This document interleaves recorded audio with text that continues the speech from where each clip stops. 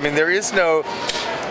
It's, it's funny. The, um, I got this email from somebody. I want to be in a conference call tomorrow. It's like, so do you have a rubric about how you choose things? You know, it's like so many of this and so many of that, and your judges put like numbers here and there. And it, like curating is not about that at all. It's, I mean, it's what moves you in any particular way.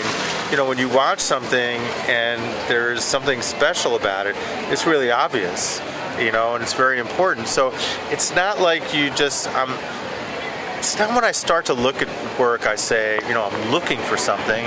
I'm looking for a social issue film, or I'm looking for that. If you take like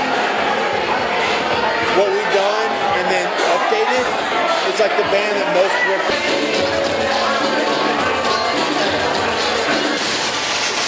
there's work that I see from all over, and and I do try to see things that are different. And I have one secret about international work. Um, you know, most people, when they look for films, they go to the same festivals. They look at the same festivals, they go to the same kind of thing.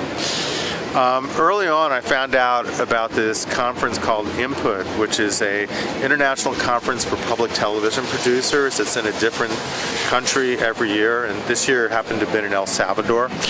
So I went down there uh, on Advantage Miles, and uh, uh, and over four days, I see work from literally all over the world, and um, and I'm the only curator that's going there looking for work from a festival. Everybody else there works at public television stations, so they're sharing work with their colleagues. It's like this incredibly amazing thing.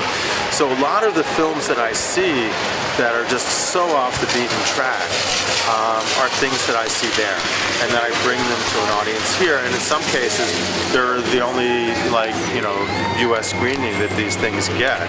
Mark and I go way back. Mark showed videos